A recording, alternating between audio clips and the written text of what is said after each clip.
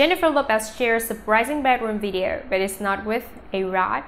The singer is engaged to Alex Rodriguez. Jennifer Lopez is planning her wedding to fiancé Alex Rodriguez. So why was she in bed with another man?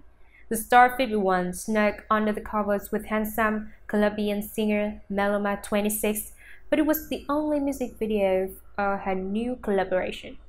Jennifer teased fans with trailers for song Pa' Ti and Lonely, which will be premiered Thursday, and it looks like they were getting up close and personal.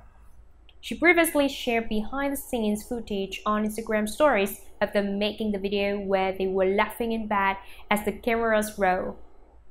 The official video also shows them almost kissing. Jennifer told fans, don't miss the TikTok live behind the video and two-part premiere event this Thursday at 6 p.m. EST or 3 p.m. PST. It all starts on TikTok, Lakabar.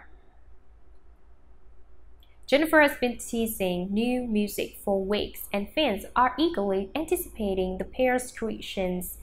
Despite the COVID 19 lockdown, Jennifer has kept herself busy recording with Maluma, a real new name Juan Luis Londoño Arias in the studio, promoting her clothing collection and working on the launch of her JLo beauty line too. She's also been spending quality time with Alex, his two daughters from a previous relationship, and the 12-year-old twins Emma and Max from a married to her ex Marc Anthony.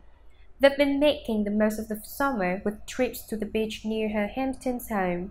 Jennifer has booked several snaps shocking at son and seen fans worried wow with a couple of stunning swimsuit selfies too.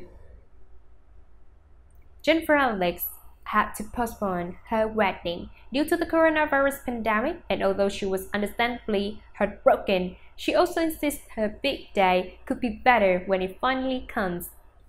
God had a bigger plan, she told the Today Show in May. So, we just have to wait and see.